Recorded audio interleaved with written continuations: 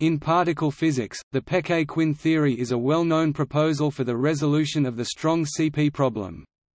It was formulated by Roberto Peccei and Helen Quinn. The theory proposes that the QCD Lagrangian be extended with a CP-violating term known as the theta term.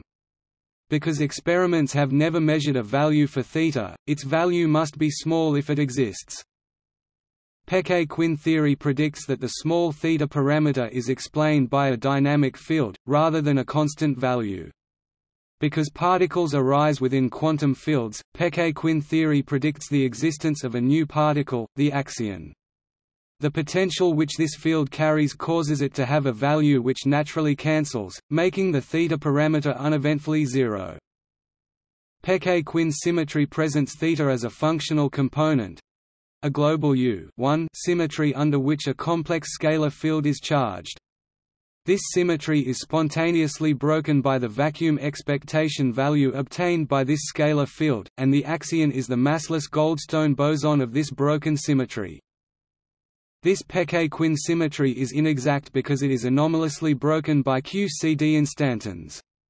If there is a compensatory term cancelling the QCD anomaly breaking term, the axion becomes an exactly massless Goldstone boson and θ is no longer fixed.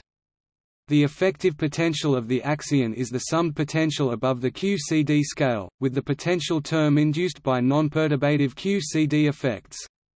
If the axion is fundamental, or emerges at a scale far higher than the QCD scale, then the dimension 5 axion coupling term T R F F. Display style mathrm tr f wedge f. Is suppressed by 1 lambda display style 1 lambda where lambda display style lambda is the scale of the axion because of this, in order for theta to be so small at the minimum of the effective potential, the bare potential has to be many orders of magnitude smaller than the instanton-induced potential, compounded by the lambda display style lambda factor. This requires quite a bit of reconciliation with an approximate global symmetry, for which there is no current explanation.